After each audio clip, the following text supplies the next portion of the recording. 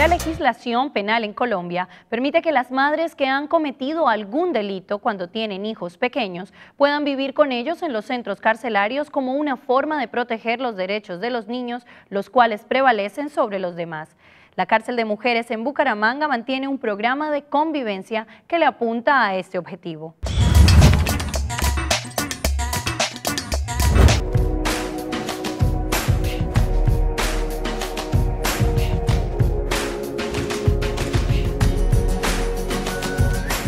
A Wendy Liliana Leguizamón tal vez nunca se le cruzó la idea de ser candidata para un reinado de belleza, así como tampoco pensar que alguna vez estaría detrás de las rejas de una cárcel. Y aunque estar allí la prive de la libertad, no le quita la sonrisa de su rostro en momentos especiales, y el convertirse en la nueva mi simpatía de la reclusión de mujeres de Bucaramanga es uno de ellos. No debe perder el tiempo afuera, ni acá adentro, porque entre uno más ocupado esté en un lugar de estos, menos piensa en las cosas que a uno le hacen daño.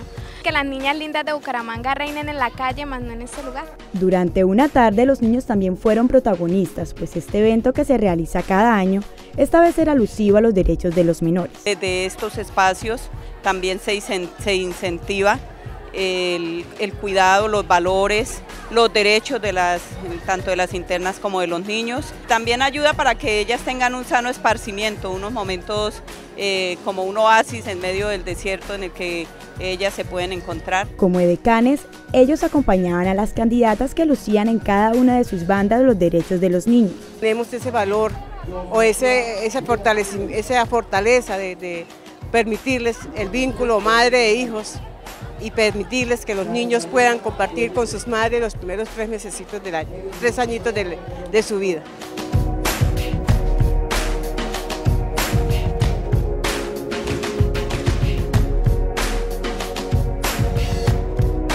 Aunque estar acá adentro les quita la libertad, los directivos de la reclusión se encargan de brindar actividades para una sana diversión, sobre todo a los más pequeños a quienes se le cumple su derecho al juego, deporte y recreación. Ellos también necesitan recreación, necesitan motivación, que ellos desde muy chiquitos vayan pensando en quién quieren ser. Que no solamente es estar tras las rejas, se pierden cosas diferentes. Aquí vivimos lo mismo que se vive en la calle.